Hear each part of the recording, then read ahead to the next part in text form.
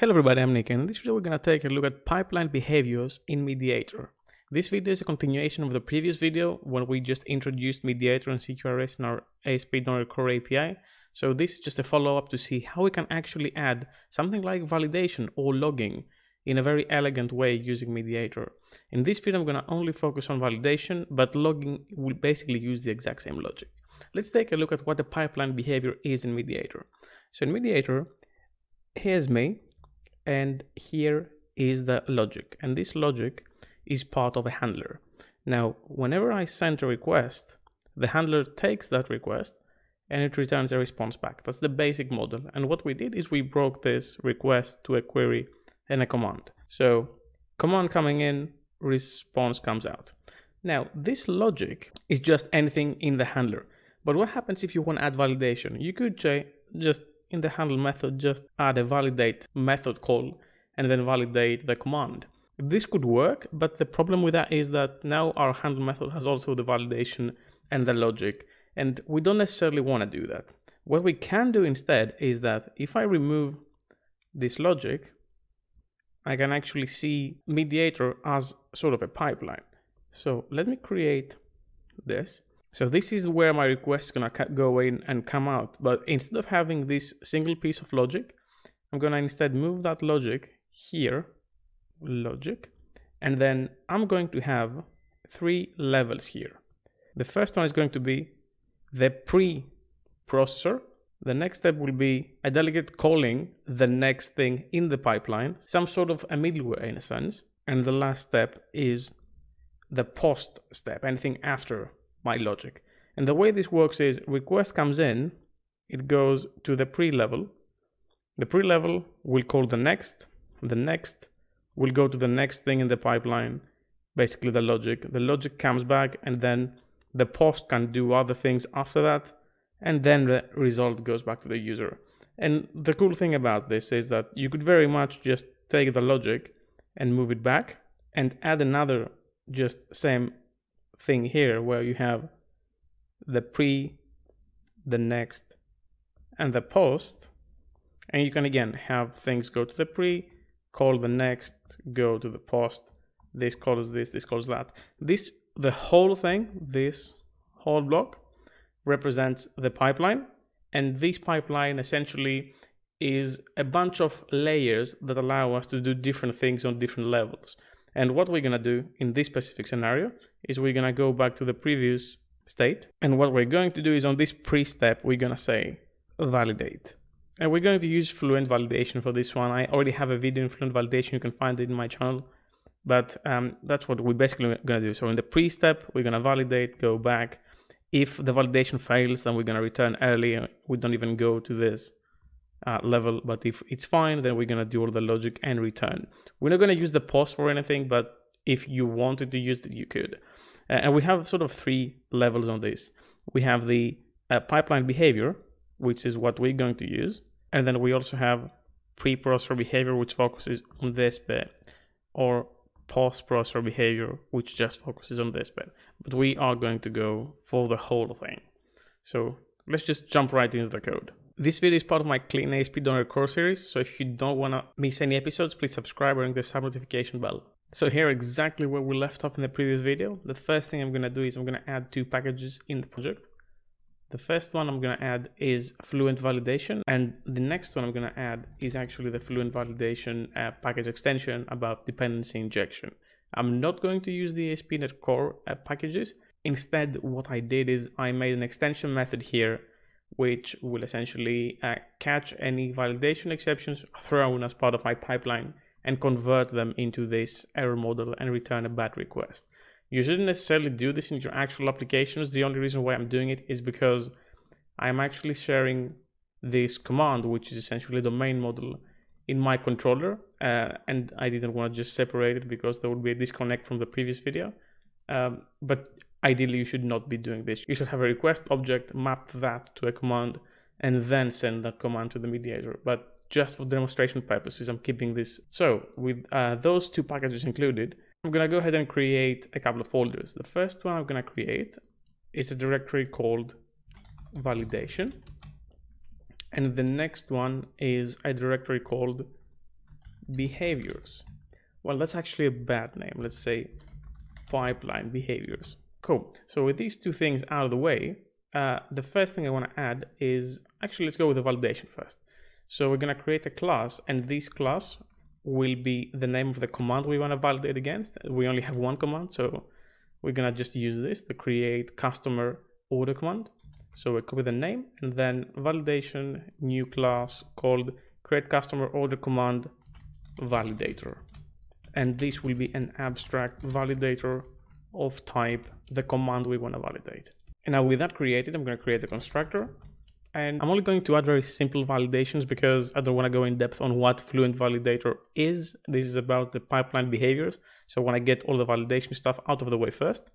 So I'm just going to say rule for, and I want to add a rule for the customer ID. And the rule I'm going to add is uh, it should not be empty. And then I'm just going to copy that and add the exact same rule for product ID. Uh, you could inject anything you want here. This will work with the dependency injection, and you could just validate that the customer with this ID exists and that the product with this ID exists. And you can do all sorts of custom stuff with Fluent Validator, but I'm going to keep it simple for now. Just going to do this. So I'm going to go ahead and close this and this one as well. And now that we added this, I want to uh, register my validators in my um, dependency injection. So I'm going to say services dot add validators from assembly. I'm going to say type of startup like we did before and assembly. And this will register automatically anything that's an IValidator or an abstract validator in the DI container to be injected. So that is done now. The next step is to create the pipeline behavior. So let's go in the pipeline behavior folder and create a new class. And I'm going to name this class validation behavior. Now you might have seen this specific class in Stack Overflow answers or in blog posts. This is not a new class. It's probably the most common example uh, alongside logging to present this feature. So I'm just going to use the same thing essentially. Uh, and this will be a, uh, a behavior that will accept a T of request and return a T of response. It's exactly the same as if you go into our handlers, essentially the exact same thing. Something comes in, something comes out. But instead of uh, implementing the IRequestHandler interface, we are going to be implementing the iPipeline behavior interface. And this interface requires a request and a response. And it also requires that we say that where T request is an I request of type Response. And this only has a single method, which is the handle method. Very similarly to how the handler has the handle method. But the extra thing that this method has is this delegate here, this next. And this is, if you remember the diagram, the thing I was talking about, the thing that it will actually push things to the next thing in the pipeline. So essentially, everything that happens before this call is pre the behavior, and everything after that is post the behavior, is post everything after the pipeline call. In this specific use case, we're not going to use the post, so we can just say return here, but we are going to use the pre to other validators. So what I need is I need to uh, have a private read-only field of type IEnumerable, of type IValidator, of type tRequest to essentially give me every validator in my DI container for this specific request. And I'm just going to name these validators and I'm going to inject it from the constructor. So I have my validators here, but these are all my validators. So there are a few steps I need to take in my logic for the validation. First, I need the context. So I'm going to say new validation context. And this requires request. And then I need to find all the failures. So first I'm going to say failures equals validators dot select and then validate this context, the context that contains the specific request I want validated. And then the validation will take place and I need to do a select many to get the result, any errors if, if any. And to check that the errors are not null and I actually have some errors, I'm gonna say check for anything that is not null. So check for errors that exist And then I'm gonna to list this to trigger this. And here I need to say if failures dot any, then throw new validation exception with all the failures. I'm gonna inject that properly.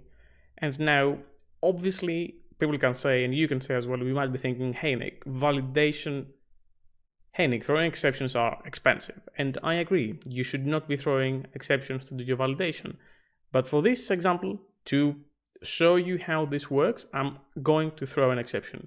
In your highly efficient, highly performant system, you might not want to return a T response, but you might want to return a result of T response. And instead of throwing here, you would return the bad version of that result, not the good version. And then in your pipeline, you can have a middleware that says, okay, translate this into a bad request response. I'm doing this with this extension method I showed you before, just for simplicity, uh, but you might want to go with a different approach. And now, with this out of the way, what I need to do, and the last thing I need to do actually, is to just register this behavior in my DI container. So I need to say services.add transient because I want this to run on essentially every time it's requested. And I'm going to say type of i pipeline behavior and I'm going to just put a comma here. I'm not going to specify the types and then instantiate this with the type of validation behavior. Let me find that here. And again, comma. So register this for any T request and T response and with any T request and T response. And essentially that's it. The code is very, very minimal and the, you can find the code for the video in the description down below. Uh, I'm just gonna run this to show you how it works. I'm gonna stick a few breakpoints here. I'm gonna go in the controller. Is it the right controller? I think it's the right controller.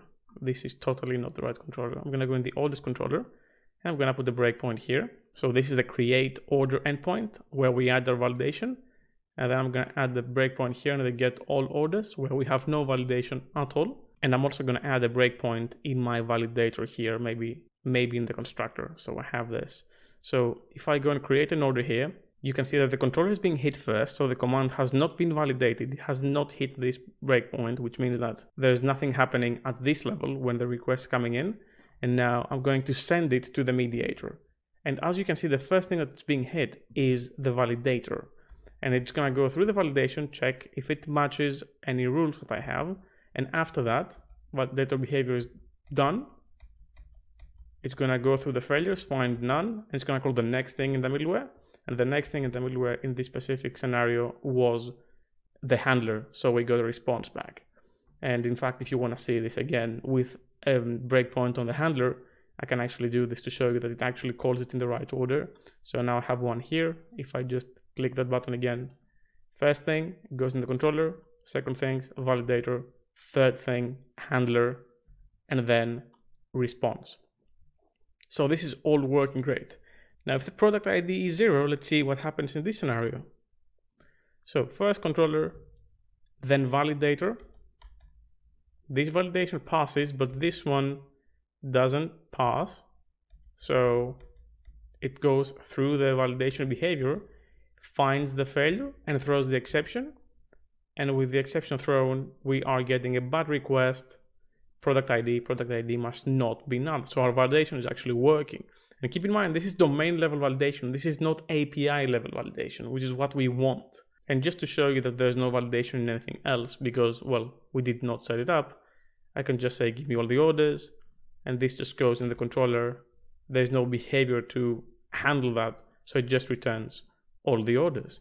So very simple, very cleanly, we can just create the validation class, specify the command, or even the query you want to validate, and you can add all your domain level validation here, which is a very clean way. It can be confusing for people jumping in saying, okay, where is this validation coming from?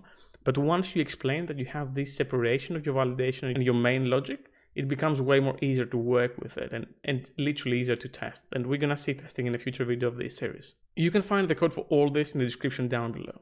That's all I had for you for today. Thank you very much for watching. Special thanks to my GitHub sponsors for making these videos possible. If you want to support me as well, you're to find the link in the description down below. Leave a like if you like this video, subscribe for more content like this and ring the bell as well, and I'll see you in the next video. Keep coding.